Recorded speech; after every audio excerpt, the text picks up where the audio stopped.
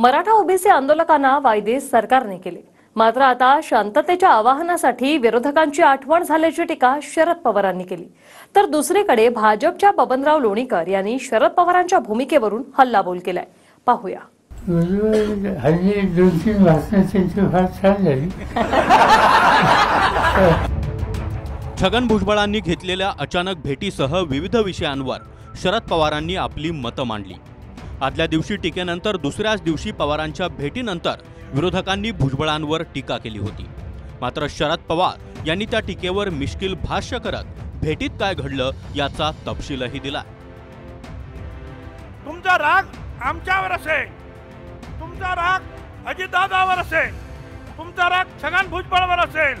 पण या ओबीसी समाजानं तुमचं काय घोडं मारणार का तुम्ही येत नाही? हल्ली दोन तीन भाषणं त्यांची फार छान झाली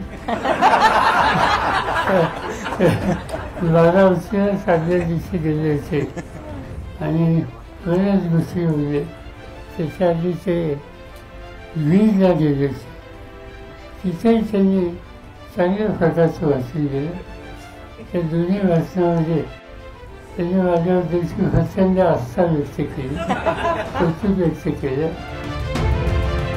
विरोधकांना आपली भूमिका मांडायची आहे की नाही अशी शंका पवारांच्या वक्तव्यानंतर भाजपच्या दरेकरांनी व्यक्त केली आहे. तर आधी सर्व चर्चा निर्णय अध्यादेश सरकारनं काढले आणि आता शांततेच्या आवाहनासाठी विरोधक आठवल्याचं पवार यांनी म्हटलंय.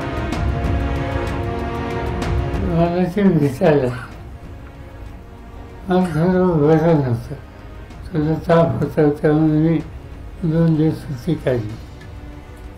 कळलं मला झोपेतनं उठवलं भुजबळ साहेब आले म्हणजे कधी आले तर एक तास म्हणजे एक तास हो म्हणजे ते जायचंच नाही म्हणजे विश्लेषण ठीक आहे म्हणजे ते आले आणि त्यांनी काही गोष्टी मला सांगितल्या की या या गोष्टी केल्या पाहिजे तरच महाराष्ट्राचं हित आहे.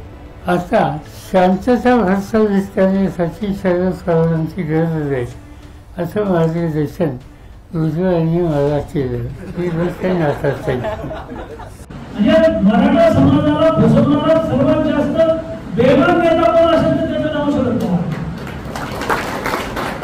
त्याच्याबद्दल कोणती काही बोलू कौतुक आहे म्हणजे शकुनी मामा फेली शरद पवारांच्या मुकाबल्यात शकुनी मामा फेली जाऊ द्या, लोकांना कळत नाही पण काय व्हावं दरम्यान अजित पवार पुन्हा परतले तर काय निर्णय घेणार? यावर पक्ष आणि कुटुंब याबाबत दोन वेगवेगळे निर्णय होतील असं पवारांनी स्पष्ट केलंय.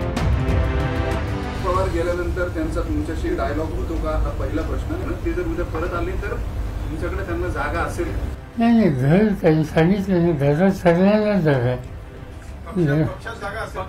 पक्षाचा हा व्यक्तिगत मी निकाल घेणार नाही. माझे सगळे सहकारी या संघर्षाच्या काळामध्ये मजबूतीने उभी राहिली. त्यांना पहिल्यांदा विचार दरम्यान पिंपरी चिंचवडमधील अजितदादा गटाच्या पदाधिकारी आणि नगरसेवक मिळून चोवीस जणांनी शरद पवार गटात प्रवेश केला. समर्थकांमध्ये नेमकी नाराजी आहे का?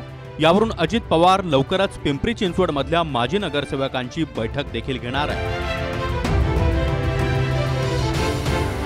bureau report TV nine Marathi.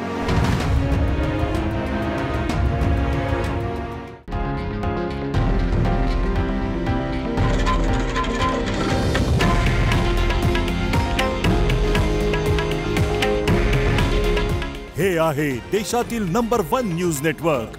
आणि आपण पाहत आहात टी व्ही नाईन मराठी. काळजी तुमची हित महाराष्ट्राचं.